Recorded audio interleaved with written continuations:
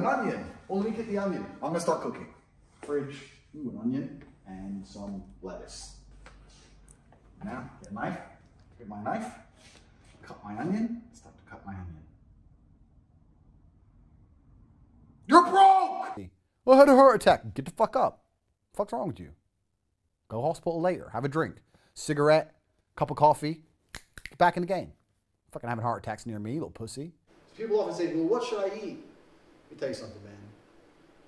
Don't be a homo. If you're a hot female, I will administer CPR.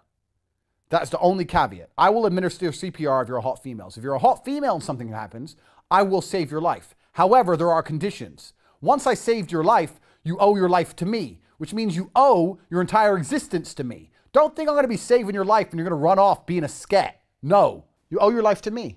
I saved your life. You were going to die. And now you get another 20 years of existence and you think you're just going to wake your ass up and go off being a scat. Oh, thanks. Bye. No, no, no, no, bitch.